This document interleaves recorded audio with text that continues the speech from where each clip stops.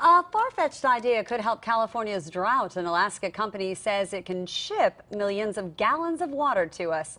CBS 2's Jasmine Viel is live in San Pedro with how this would work. Hi, Jasmine.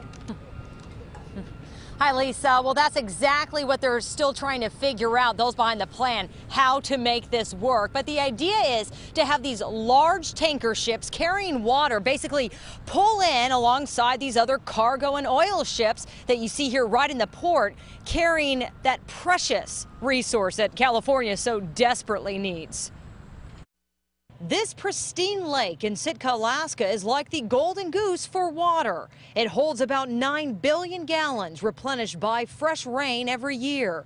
It's a far cry from our cracked and dry land here in California, now in its fourth year of drought. I think it's the worst I've seen. This photo from Congresswoman Janice Hahn of San Pedro shows a meeting yesterday with Alaska Bulk Water CEO Terry Trapp. He has the rights to this lake's water and is ready to distribute it.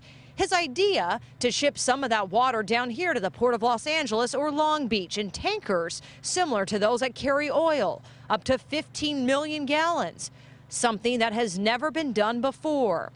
Moms like Sarah Schmidt says she worries about the future for her son if a solution isn't found. You know, what's going to happen if it gets worse for him, you know, now that he's just starting out. It's like, what's going to happen when he gets my age? You know, what's it going to be like then? But once the water arrives, how would it reach places like Catalina Island or other institutions? One idea is to use the infrastructure already here or create a new pipeline and storage facilities.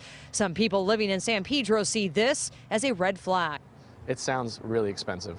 In a statement, Congresswoman Hahn says, however, with no end to the drought in sight, we need to start thinking creatively about solutions. The proposal to ship water from Alaska would be costly, but if this drought continues, it could be a viable part of a larger solution. And some critics argue that building a desalination plant would be cheaper than shipping water all the way from Alaska. Uh, but at this time, LA County says they have no plans in place to build that. Sharon. All right, Jasmine.